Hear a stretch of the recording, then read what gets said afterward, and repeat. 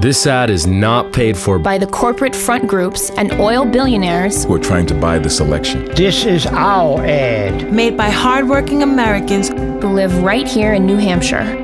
And we have one simple message. Frank Guinta is backed by one of those front groups. And if he's on their side, then he's sure not on ours. Vote Carol Shea Porter.